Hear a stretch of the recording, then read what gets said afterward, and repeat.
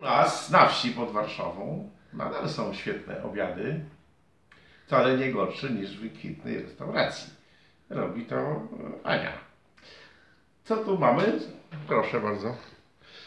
Stek wołowy z podsmażanym czosnkiem.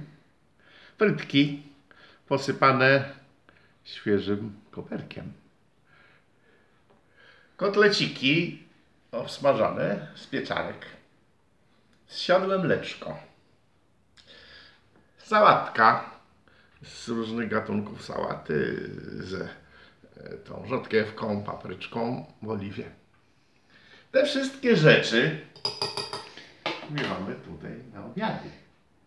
Dlatego zapraszamy Chilsonkę ponownie na obiad do nas tutaj, żeby się najadła i spróbowała.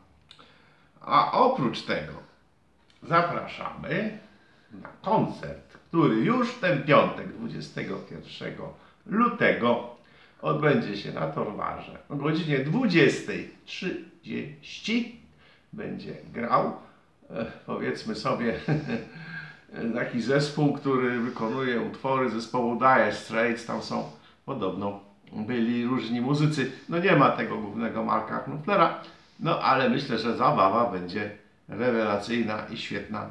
Zapraszamy w piątek na 20.30.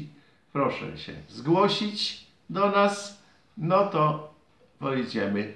Ja mogę odstąpić swój bilet, mamy tylko dwa, ale ja poświęcę się dla dziecka, odstąpię swój bilet. Niech ma prawdziwą rozrywkę.